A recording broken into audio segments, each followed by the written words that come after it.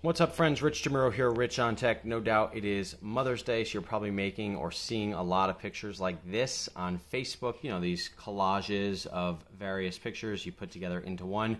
There's a lot of apps that can do this, but there's a super simple way you can do this if you have Google Photos.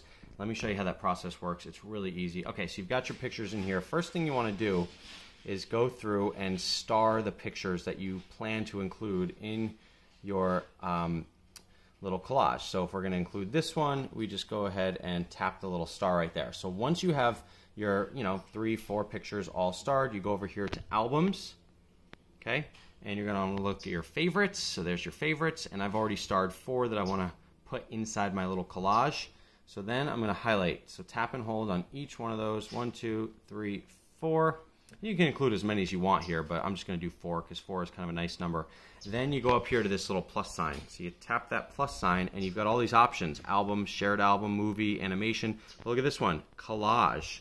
So tap that, and literally instantly it picks out the best parts of the pictures, it puts them into a collage, and you can now share out however you want. You can press this share button, which is this button right here, and you can share to friends, family, Facebook, Instagram, whatever.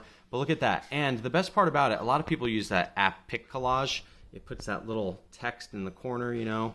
Um, you don't have that. This has no watermark. It has nothing on it. The only downside to doing it this way is you can't adjust these pictures. So once it makes the collage for you, there's really not much you can do. Like that's it. You're basically, um, let me get back into the other, uh, this way here. So once it makes this for you, you can't really adjust these pictures in here. So if you use something like layout from Instagram, it's a little bit more work, but you can adjust exactly how these pictures work. All right, hope you enjoyed learning how to do this. Make your pick collages for Mother's Day. Thanks for watching. I'm Rich DeMuro, richontech.tv. See you next time. Bye bye.